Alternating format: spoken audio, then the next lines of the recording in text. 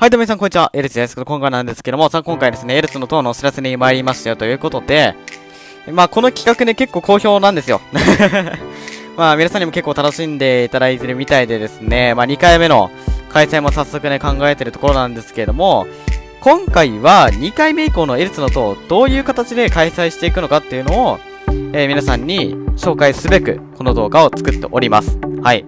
まあ、左側に延期がいてね、右側にルシファーいますけど、ルシファーのメガネちょっと燃えてるのがちょっとポイントなんですよね。はい。ってことで、今回ですね、まあ、ざっくり、まあ、もう言っちゃうと、このエルスのと2回目以降ですね、3つのモードに分かれます。はい。ってことで、えこれからね、3つのモードある中から皆さんに好きなやつを1つ選んでもらって、それを攻略していくという形にしようかなと思っておりまして、まあ、その3つのモード、何があるのかっていうのをですね、紹介していこうかなと思います。本当はね、詳細は隠してお楽しみにしようかなと思ったんですけど、もう今回はね、もういっちゃうよ。いっちゃいます。ということで、早速、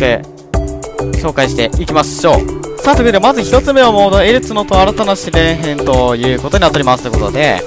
こちら名前の通りですね、えー、マイルツの塔ですね、全部で5ステージあるわけなんですが、この5ステージ全部が新作です。はい、もう完全新作のエルツの塔ステージですね。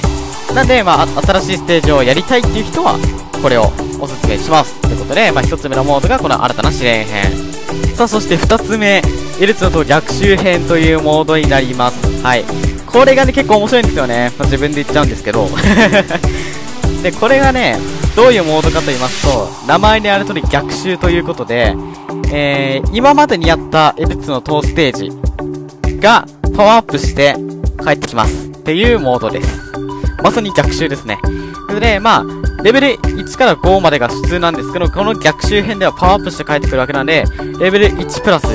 レベル2プラス、3プラス、4プラス、5プラスっていう風に、全部のレベルにプラスがついてパワーアップして帰ってくるっていうのがこのモードになります。なんで、まあ、相当難しいですね、これ多分。なんで難しいのに挑戦したいっていう人は、この逆襲編をおすすめします。はい。ということで、二つ目のモード逆襲編でした。さあ、最後三つ目ですね。三つ目のモードは、いつのと、新たな試練と逆襲編ということで、まあ、延期もルシファーも、どっちもいるわけなんですが、もう見てわかる通り、えー、まあ、前に2つした2つのモードですね。新たな試練と逆襲。この2つのモードが組み合わさったのがこちらになります。なんで、どっちの要素も味わいたいっていう人は、これが、おすすめです。はい、新たな試練と逆襲編と、いうことになっております。ということで、以上3つのモードですね。新たな試練編、逆襲編、新たな試練と逆襲編。この3つのモードがありますよということで、えー、この中から皆さんには後日投票にて、えー、皆さんに好きなものを選んでもらいまして、えー、一番票が多かったものを皆さんに次回攻略してもらうという形になります。えー、まあ、投票いつやるかわかんないですけどね。まあ、次回の白の、白の塔じゃない